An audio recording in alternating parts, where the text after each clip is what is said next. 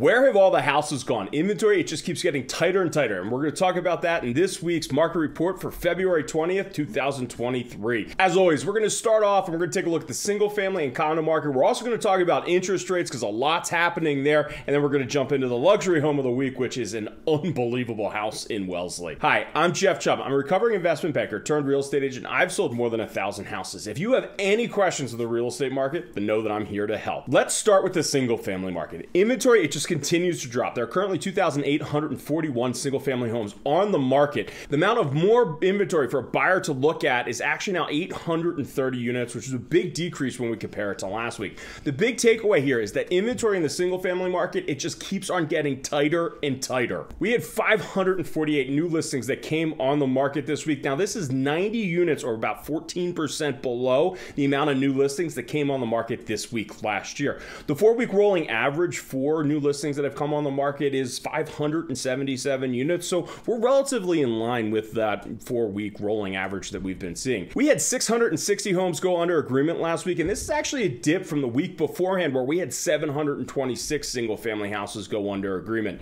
But we actually put 11.5% more houses under agreement this week than we did the same week last year. So that's some really big news. Let's do a real quick recap of what we just heard. We listed a lot less houses than we did the same time last year, but then we also put a lot more single family homes under agreement than we did the same time last year. That's the market that we're currently dealing with, and that's even with the increased interest rates. There were 341 single family homes that closed last week for an average sales price of $651,000 and a median sales price of $550,000. And then that months of inventory. Months of inventory is how we calculate whether it's a seller's market, equal market, or buyer's market. Zero to five months is a seller's market. The closer you are to zero, then the more aggressive a seller's market that it is. This week's months of inventory increased slightly to 1.17 months compared to last week's 1.16 months. Really, what is this? It just indicates that it's a very, very strong seller's market, which brings us to the first seller's advantage. I know I've mentioned this before. I seem to be mentioning it every single week, and there's a reason why.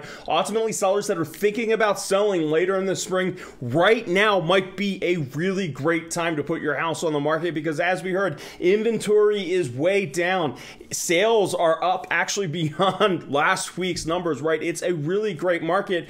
And the big question is, is what will interest rates do? Are they going to continue to go up and actually hamper that long curtailed, you know, strong spring market that we generally get? Because we know what we're dealing with right now, and the market right now is just phenomenal for sellers. We have 1,717 condos on the market. Inventory in the condo market went down by 26 units compared to last week. And when we compare it to 28 days ago, we have about 4% less the amount of condos on the market today than we did back then. But compared to the single family market, inventory in the condo market really has remained relatively flat. So again, when we compare the condo inventory levels today and we compare it to the same time last year, right, we now only have 243 additional condos on the market today for buyers to choose from than compared to the same time last year. I mean, that's just incredible because every single article that we pick up, all it is is talking about the gloom and doom and gloom of the real estate market, and we're just not seeing it in Massachusetts. And our inventory levels, as well as our sales levels, ultimately really do show that. There were 303 newly listed condos that came on the market this week. Now we can compare that to our four-week rolling average, where we've had 346 condos come on the market per week. But when we compare it to the same week last year, we actually had 376 condos on the market. We had 341 condos go under agreement this week. Now, when we look at the four-week rolling average, we've had 344 condos go under agreement per week on average, right?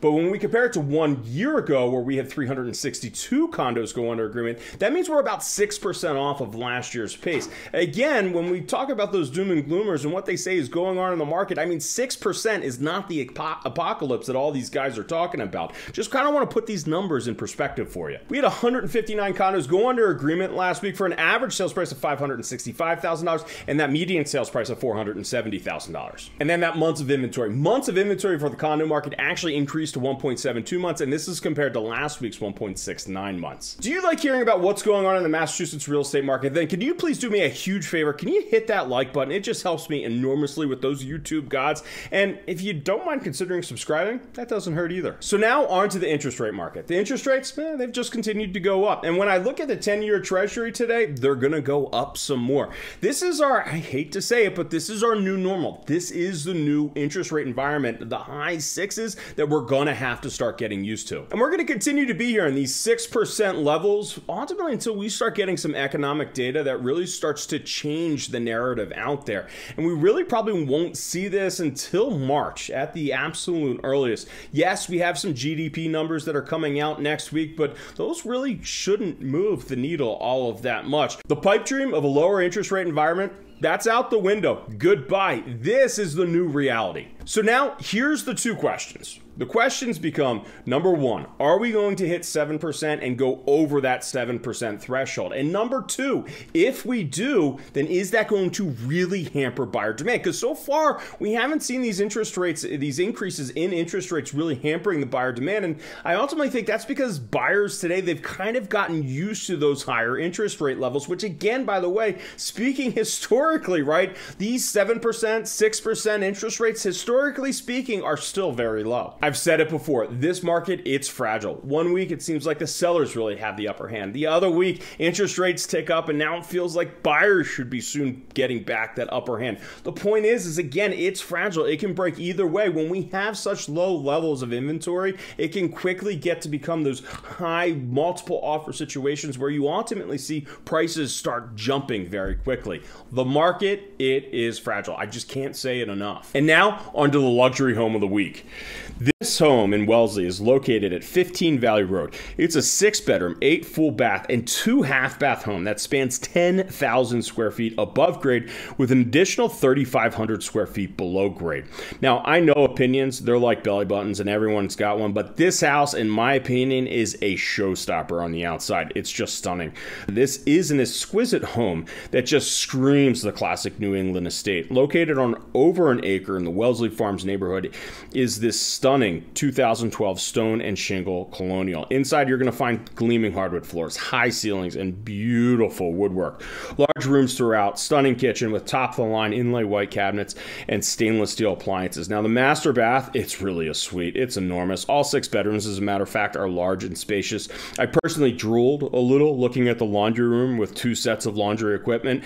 Then there's the golf simulator to make sure that your game doesn't slip too much in those winter months. All of this plus a four four car garage and a hot tub built into some of the finest stone patio work that you'd ever lay your eyes on. Now, the home, it's being marketed for $10,750,000. Want to talk about your own personal real estate needs? Then all of my information, it's in the description below. You can also reach out to me at youtuberealestateagent.com, fill out a couple questions, then I'm going to reach out to you. Ultimately, it's all about you. It's your journey. I'm just here to help. I love talking about real estate. So whether you're looking to move in the next nine or 90 days, it doesn't matter. I'd love to chat with you, talk to you a little bit, and hear about your goals and ultimately see if we can make them a reality. Questions or comments about any of this market data, then drop them in the comments section below. You always take the time to watch the videos, so I'm always going to take the time to respond to you. As I always say, an informed person, well, they're a powerful person. So until next time.